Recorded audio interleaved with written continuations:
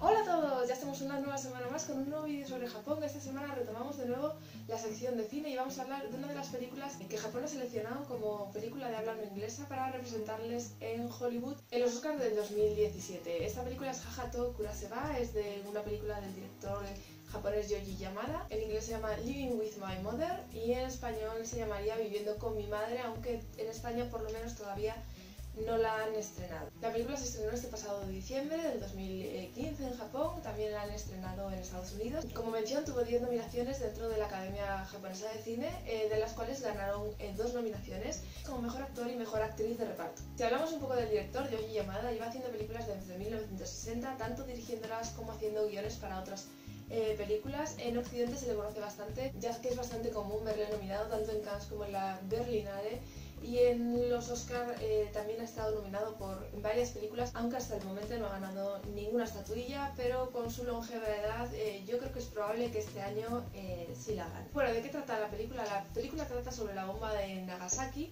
Hay que decir también que el prólogo de la película, lo que es el principio de la película, está rodado en blanco y negro porque trata del día que cayó la bomba sobre Nagasaki.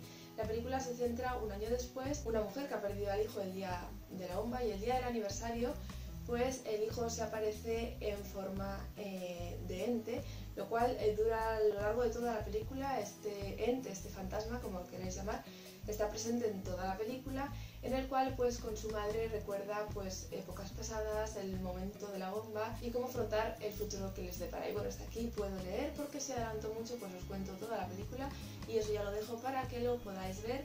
Eh, abajo os voy a dejar en la cajita de información donde podéis encontrar la película tanto subtítulos en español como con subtítulos ingleses para que elijáis el formato que más os guste. Y bueno, hasta aquí el vídeo de hoy, espero que os haya gustado y ya sabéis, nos vemos la semana que viene en el próximo vídeo. Bye bye.